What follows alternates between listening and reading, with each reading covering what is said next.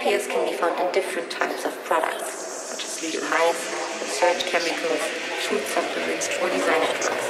And NPS may include medicines. Although NPS are not controlled internationally for their local conventions, there might be other forms of. And NPS can be controlled through the national legislation either by name or